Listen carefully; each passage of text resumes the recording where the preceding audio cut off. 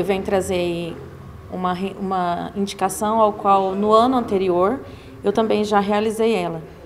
Eu gostaria muito que a nossa gestão pudesse contribuir é, adquirindo um, um caminhão limpa-fossa para poder é, nos ajudar nessa parte, do, assim, principalmente nesse período chuvoso, onde que as fossas vêm a encher com mais facilidade, né, Luiz? Então, assim, é pensando na população mais carente, que muitas vezes não tem condições de pagar por diversas vezes esse esvaziamento das fossas, que eu venho trazendo aí essa preocupação nesse momento.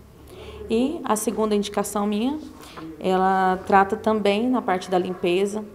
É, busco aí com os nossos gestores e a nossa secretária de infraestrutura uma, uma ideia de trazer bags, containers, é, caçambas disponíveis nos bairros por diversas, é, é, eu penso assim que seria em diversos pontos, para colher os lixos de entulho ou então até mesmo de limpezas dos fundos de quintais. Não lixos domésticos, não é o caso.